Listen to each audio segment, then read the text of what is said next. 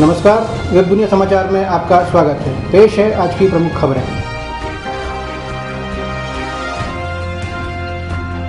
बिहार के मुख्यमंत्री जीतन राम मांझी पर जूता फेंका। बिहार के मुख्यमंत्री जीतन राम मांझी के जनता दरबार में आज उस समय अफरा तफरी मच गई, जब एक युवक ने मांझी पर जूता फेंक दिया। युवक के इस कदम से वहाँ मौजूद सभी लोग भौचक रह गए। हालाँकि अधिकारियों ने तुरंत युवक को वहाँ से बाहर निकाल दिया। बताया जाता है कि छपरा का रहने वाला यह युवक मांझी के विवादास्पद बयानों से बेहद नाराज़ था।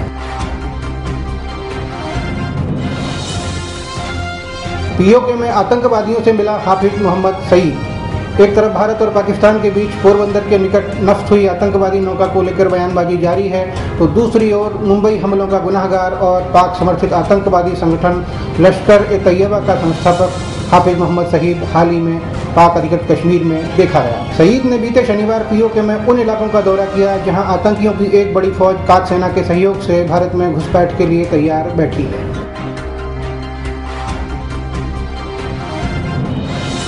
योग गुरु बाबा रामदेव ने किए नामी पहलवान से दो दो हाथ। योग गुरु बाबा रामदेव ने पतंजलि योग पीठ के स्थापना दिवस पर अखाड़े में उतरकर सबको चौंका दिया।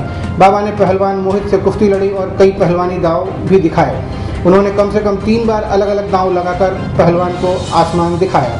हालाँकि इस कुश्ती को देखकर ऐसा नहीं लग रहा था कि मोहित पूरी गंभीरता से कुश्ती लड़ रहे हैं।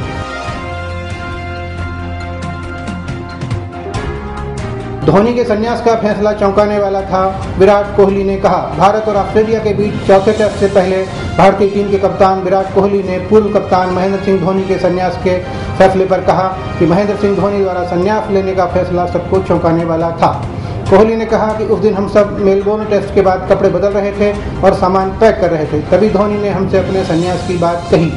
क्योंकि इससे पहले संन्यास की कोई बात नहीं हुई थी, इसलिए मैं स्तब्ध रह गया। यह हमारे लिए काफ़ी भावुक पल था।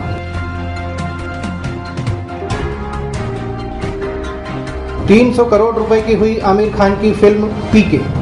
आमिर खान की फ़िल्म पीके ने बॉलीवुड में कमाई के सभी कीर्तिमानों को ध्वस्त कर दिया है। पीके ने मात्र 17 दिनों में 300 करोड़ का जादुई आंकड़ा पार कर लिया है। इस फ़िल्म ने तीन करोड़ रुपए सिर्फ़ भारत से एकत्रित किए हैं। 300 करोड़ क्लब में शामिल होने वाली यह पहली फ़िल्म है।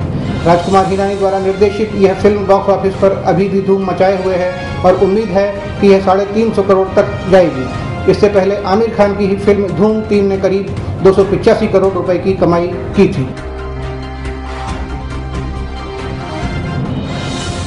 ये थे अब तक के मुख्य समाचार। और ज़्यादा जानकारी के लिए लॉगिन करिए www.webdunia.com